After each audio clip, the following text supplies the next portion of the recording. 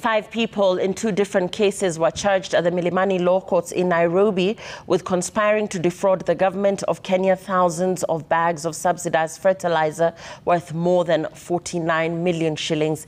The accused persons include senior Ministry of Agriculture officials who facilitated the issuance of vouchers to fictitious farmers who targeted the fertilizer only to pump it back into the market in Kenya and Uganda at market price. Hassan Mugambi with the details. Before Chief Magistrate Bernard Ochoi at the Milimani Law Courts in Nairobi, Kipkorir Ronald Tanui and Edwin Ombui Oseko, both employees in the public sector, were jointly accused of conspiracy to defraud the government of Kenya of 19,913 bags each containing 50 kilograms of subsidized fertilizer valued at 49.8 million Kenya shillings. The two were further charged with abuse of office. Kiprotich Ronald Tanui, who is the Assistant Director of Information, Communication and Technology at the Ministry of Agriculture, is alleged to have recommended the registration of Wilson Lutenya as a farmer owning 1,800 acres of land for crop farming in Meleo area of Narok County.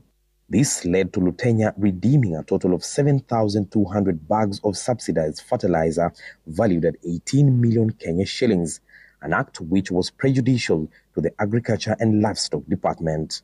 Kiprotich is also accused of recommending the registration of Wilson Sesat as a farmer with 1,200 acres of land for crop farming at Sogo area of Narok County, which would lead to the said person redeeming a total of 4,850 kilogram bags of fertilizer valued at 12 million Kenya shillings. Edwin Ombui Oseko, the principal agricultural officer and head of fertilizer unit at Kilimo House, is alleged to have instructed a junior officer in the ICT department to register Benjamin Mosbei Kuto as a farmer with 1,000 acres of land in Ololunga area of Narok County, which led to the person redeeming a total of 4,304 bags of government subsidized fertilizer valued at 10.7 million Kenya shillings. The two government employees, however, did not answer to charges on Friday as Edwin was not in court.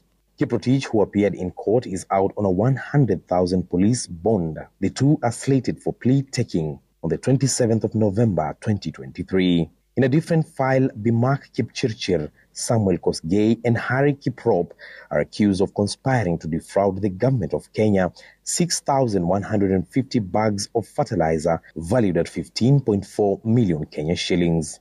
The prosecution stated that Kipchirchir, between September 4th and October 16th this year, at various National Cereals and Produce Board depots and the Kenya National Trading Corporation depots alleged to own 750 acres of land in Narok to obtain 3,349 bags of fertilizer worth 8.5 million Kenya shillings. As for Kip Kosgei, he is accused that between August 3rd and September 23rd this year, he lied that he owns a parcel of land measuring 600 acres in Kilgoris, Narok County to obtain 2,801 bags of subsidized fertilizer worth 7 million Kenya shillings. The three denied the charges before Milimani Law Court and Senior Principal Magistrate Bernard Ochoi ordered them to pay a bond of 8 million Kenya shillings each with one surety of the same amount or a cash bail of 4 million Kenya shillings. The matter will be mentioned on the 8th of December this year